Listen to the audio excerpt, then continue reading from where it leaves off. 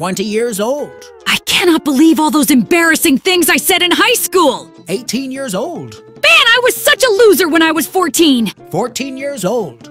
I was so cringe when I was 11. Yikes! 11 years old. Ugh, I was so embarrassing when I was a little kid. 6 years old. I'm the Beaver Fairy.